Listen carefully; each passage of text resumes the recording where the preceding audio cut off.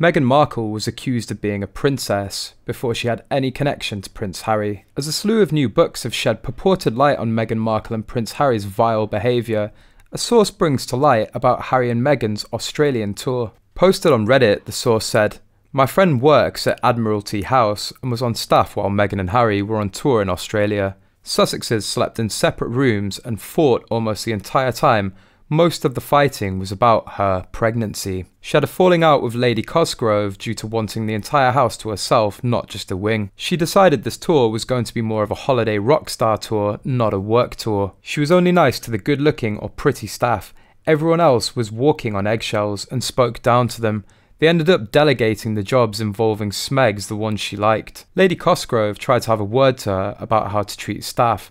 Meghan told her to fuck off. Don't you know who I am? Harry was embarrassed about her behaviour.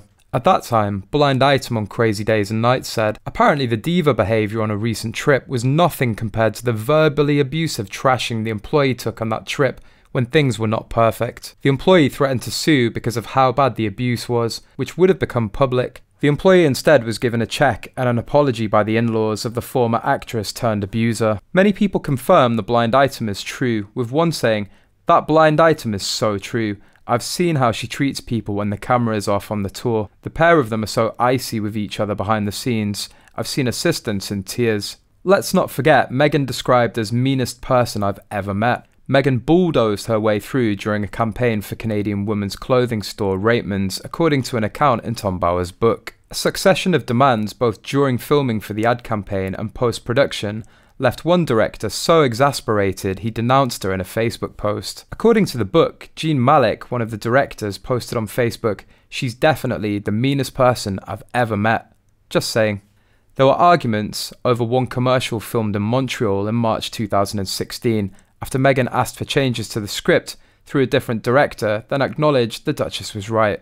Revenge quotes Meghan saying, Seriously, this doesn't make sense. I'm a brash American, and if my name is going to be on something, I'm going to have my say. On March 14th, the arguments reached their climax, Bower wrote. After ferocious exchanges, a few script changes were made, only to be rejected by Meghan again. She bulldozed her way through, complained one of the team.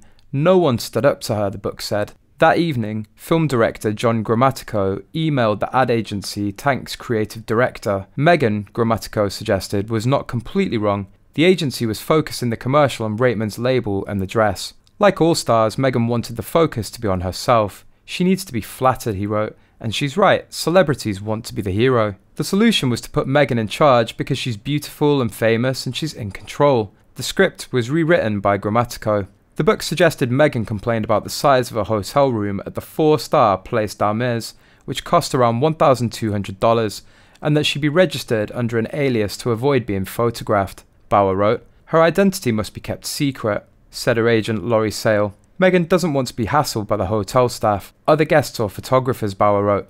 The production team were flummoxed. No one in French speaking Montreal really knew Meghan. In the event the hotel refused the request, no paparazzi gathered outside the hotel.